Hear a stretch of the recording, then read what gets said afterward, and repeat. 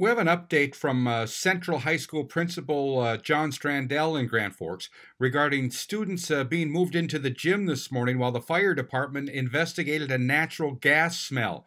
Uh, this from the uh, principal to families quote I wanted to provide you with another update regarding the smell in our building earlier today.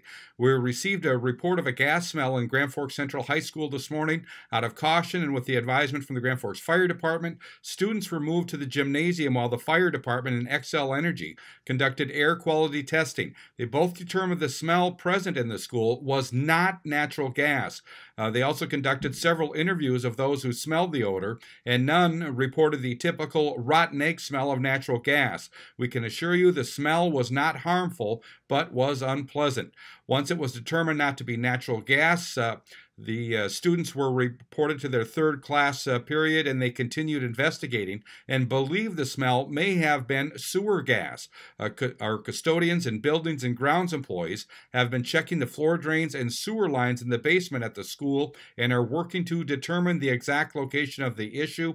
There has been no smell present in the building since mid morning. Thank you for your patience and understanding while we investigate this further. Again, that's from uh, John Strandell, principal at Central High in Grand Forks. I'm Neil Carlson reporting for iNewZ.TV.